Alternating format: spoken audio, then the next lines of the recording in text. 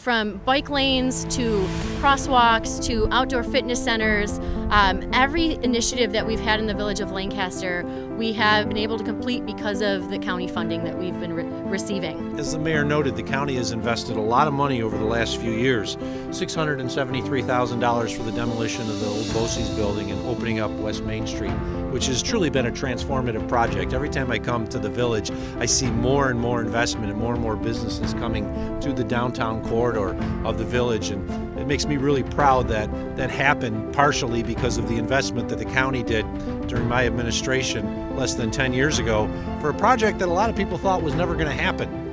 People with foresight thought we can do better in the village, we can do better in the town, and as a result of it, they have this beautiful, sparkling downtown now. Also, 200,000 plus that was invested in pedestrian and bike lane striping for Central Avenue to increase walkability and safety. And of course, there was $94,000 in community development block grant improvements for the West Drullard Playground.